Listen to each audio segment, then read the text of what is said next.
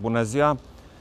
Am făcut o vizită la Institutul Național de Sănătate Publică, despre care se vorbește foarte mult în ultima vreme și am vrut să am o discuție directă cu experții care se ocupă de acest domeniu aici la institut.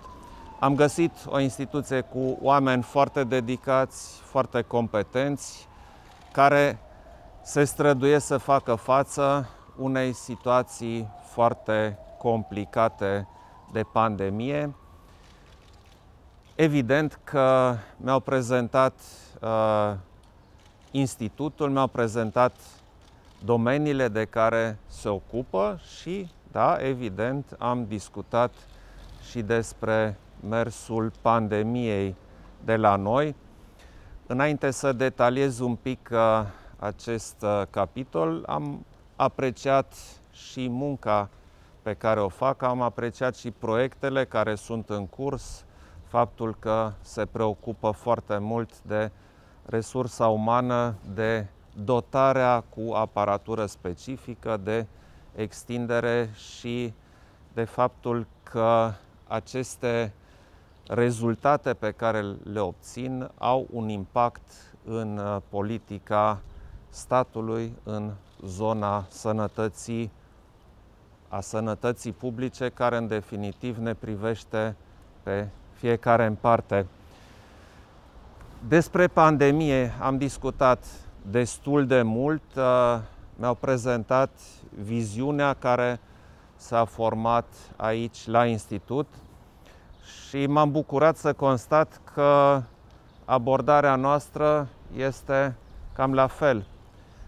Nu trebuie să intrăm în panică, însă trebuie să fim conștienți că ne aflăm într-o situație deosebită, o situație de sănătate publică deosebit de gravă și dacă vrem, dacă vrem să avem o viață apropiată de normalitate, este absolut obligatoriu să respectăm câteva norme. Sunt cunoscute, sunt arhicunoscute și câteva măsuri.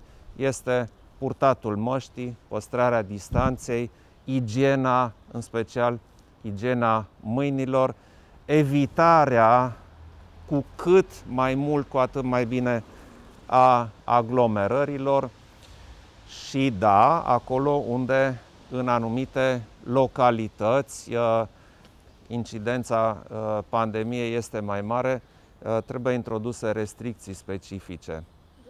Despre restricții am vorbit destul de mult și am observat cu toții că descentralizarea deciziei pentru restricție a fost un lucru bun, însă este nevoie de mai multă clarificare și am convenit uh, chiar în discuția pe care am avut-o cu reprezentanții Institutului, cu domnul ministru Tătaru și cu uh, echipa mea să se lucreze la o metodologie care permite luarea unor decizii mai rapide, mai eficiente și mai corelate cu situația din fiecare localitate și din fiecare județ.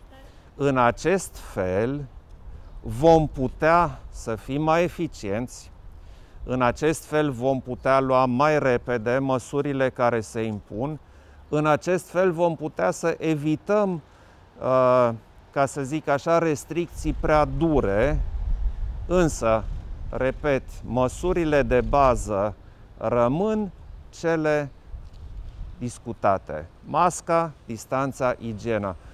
Am purtat o discuție mai lungă despre asta, despre mască.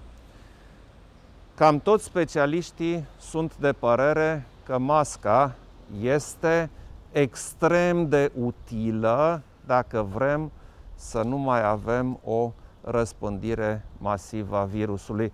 Deci pot să vă spun de pe acum că voi duce această discuție mai departe și vom avea probabil mai multe discuții despre unde și când purtăm masca. Eu recomand, Deci luați-o ca o recomandare să purtați mască tot timpul când ieșiți din casă. Deci în spațiul public, indiferent că este în interior sau în exterior, e bine pentru noi, pentru cei apropiați, să purtăm mască.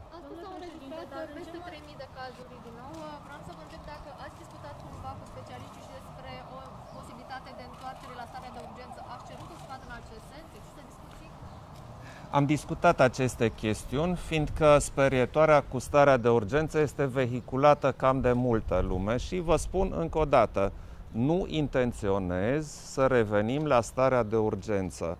Există măsuri mai puțin dure, care au efecte poate chiar mai bune. Deci cea mai bună prevenție este masca, distanța, igiena.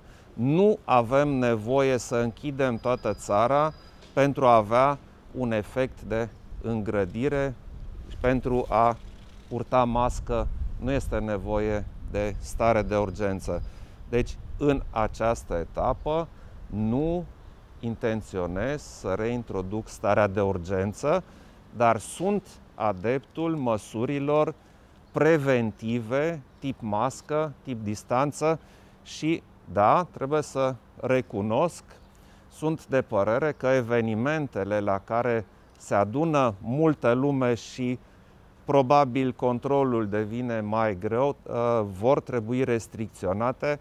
Am văzut, din păcate, prea multe întruniri care au un substrat pozitiv, de tip nunți, botezuri, sărbări, unde nu au fost respectate aceste restricții și este posibil ca astfel de uh, întruniri uh, să fie restricționate. Din discuțiile pe care le-ați avut cu specialiștii, sunt uh, soluții pentru ca sistemul de sănătate să nu intre în colaps sau este o situație inevitabilă la care vom ajunge la un moment dat? Uh, noi am discutat uh, de multe ori, în special cu uh, premierul și cu ministrul Tătaru, despre aceste chestiuni. Guvernul ia toate măsurile pentru a nu ajunge în situații critice și de asta uh, noi tot timpul vehiculăm și datele despre sistem. De exemplu, în situația de acum avem 600 și ceva de persoane la terapie intensivă, însă avem peste 1000 de locuri destinate numai pentru pacienții COVID. Deci nu suntem deloc la limită. Pe de altă parte, am avut solicitarea către guvernanți să caute soluții pentru a avea mai multe locuri la terapie intensivă și mai multe locuri pentru pacienții care se internează într-o stare nu foarte gravă, dar într-o stare care necesită spitalizare. Deci noi vom face tot ce trebuie făcut pentru a preveni intrarea în stare critică a sistemului spitalicesc. acest lucru că mai multe spitale și mai multe secții de terapie intensivă care acum sunt non-COVID vor fi dedicate pentru acești pacienți? Este nevoie de soluții concrete, inovative.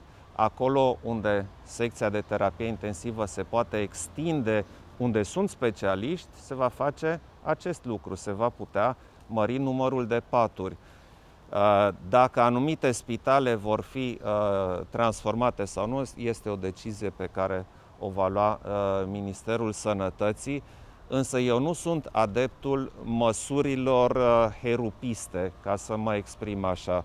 Trebuie studiat foarte bine unde se poate realiza o mărire a numărului de paturi în terapie intensivă și acolo să se facă.